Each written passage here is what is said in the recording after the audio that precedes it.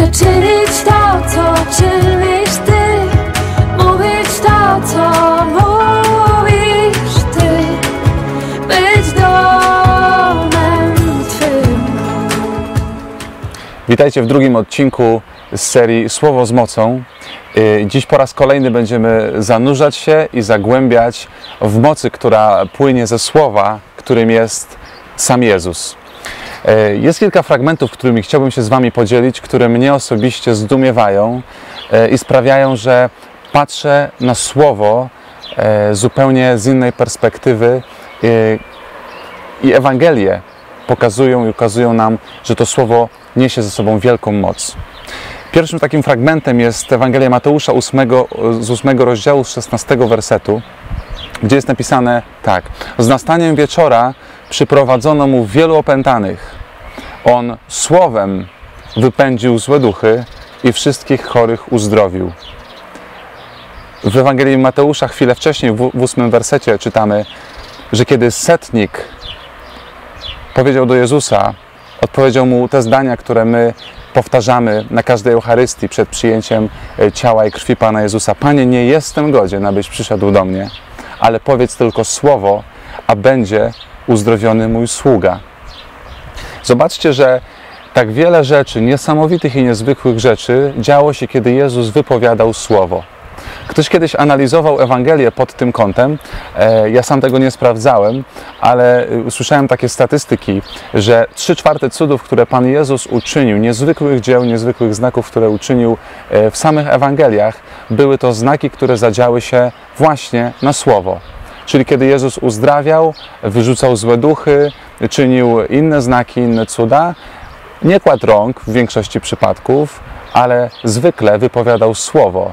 Nawet kiedy wskrzeszał Łazarza, Łazarza z grobu, on sam nie zaczął go rozplątywać z jego opatrunków, bandaży, ale powiedział: Łazarzu, mówię ci, wstań. Jego słowo było pełne mocy i tym różniło się od innych nauczycieli, którzy również głosili swoje nauki. Jego słowo było pełne mocy. E, Mam znajomego, który opowiadał kiedyś świadectwo i opowiadał kiedyś historię na temat swojego uzdro- uzdrowienia, ponieważ chorował na, na stwardnienie rozsiane, bardzo poważną chorobę. I siedziałem z nim kiedyś przy stole i powiedział: Wiesz, Marcin, już jest kilka lat od mojego uzdrowienia, i wielu ludzi zadaje mi to pytanie. W jaki sposób zostałeś uzdrowiony? Co się stało? Gdzie pojechałeś? Bo wielu z nas, myślę, wydałoby wielkie pieniądze, by pojechać na drugą stronę e, globu, by pojechać za ocean, do lekarza, do, do kogoś, kto przywróci zdrowie. A ten człowiek powiedział: Nikt się za mnie szczególnie nie pomodlił, zostałem uzdrowiony podczas czytania słowa. I to było niezwykłe, bo zmieniło też taką moją perspektywę patrzenia e, na to, co czyni Pan Bóg, że Jego Słowo niesie w sobie moc. Jego Słowo jest lekarstwem, które często jest zakurzone na naszych półkach i wyjmujemy je zwykle wtedy, kiedy ksiądz przychodzi po kolędzie. Więc Bóg zachęca nas do tego, byśmy wzięli Jego Słowo i dostrzegli w tym Słowie wielką moc, która może przemienić całe Twoje życie.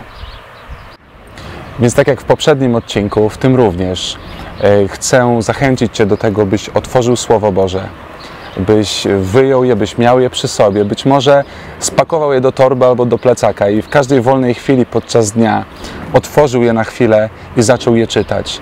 Niech Jego Słowo dotyka Cię, niech Cię przemienia, niech Cię uzdrawia i uwalnia, bo Jezus, który jest Słowem, będzie z wielką mocą e, przenikał Twoje serce, kiedy zaczniesz to Słowo regularnie czytać.